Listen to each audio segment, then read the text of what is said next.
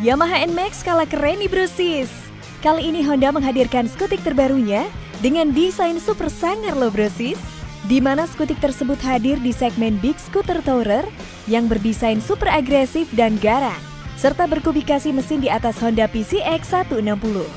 Dan skutik tersebut berlabel Honda Forza 750 yang memiliki desain keren abis dan bisa dibilang super gahar dengan garis-garis tajam di hampir setiap sudutnya yang jarang ada pada desain motor Honda. Mulai dari desain dual headlamp yang beruncing pada kedua sisinya, serta desain lampu sen yang seolah-olah terlihat layaknya dua buah taring pada kedua sisinya.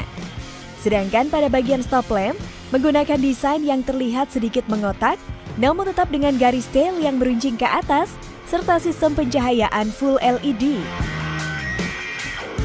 Beralih pada panel instrumen pada Big Scootic Touring ini, juga menggunakan panel instrumen TFT yang modern yang dapat terkoneksi dengan smartphone pengendara, serta dapat melakukan perintah suara. Selain itu, fitur lain yang ditanamkan pada skutik canggih ini seperti throttle by wire, serta memiliki empat mode berkendara seperti rain mode, standard mode, sport mode, dan custom. Dan juga mode berkendara pada Forza 750 ini juga dibekali kontrol traksi Honda Selectable Torque Control atau disingkat HSTC. Fitur ini berguna untuk mengatur torsi yang dikeluarkan agar ban belakang tidak selip.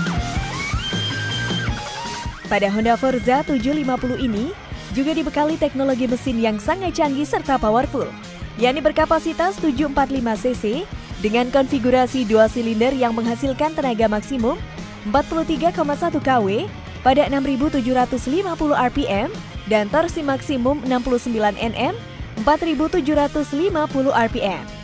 Dan menariknya pada Big Scootic ini dilengkapi sistem transmisinya dual clutch transmission atau yang disingkat DCT 6 percepatan yang menggunakan dua jenis transmisi manual dan otomatis. Untuk sektor kenyamanan pada skutik ini sudah dilengkapi suspensi USD pada bagian depan dan sistem pengereman juga dilengkapi dengan sistem double cakram hidrolik pada bagian depan yang diapit kaliber 4 piston. Sedangkan pada bagian belakang menggunakan monoshock damper rolling swing arm dan pengereman cakram satu piston yang dilengkapi dengan sistem ABS depan belakang.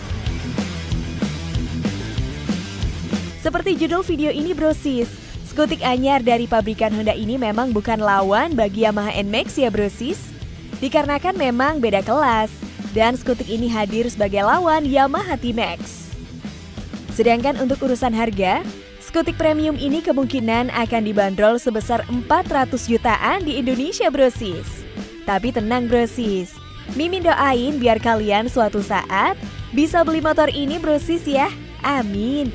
Jadi dukung channel ini juga dengan subscribe ya. Mwah.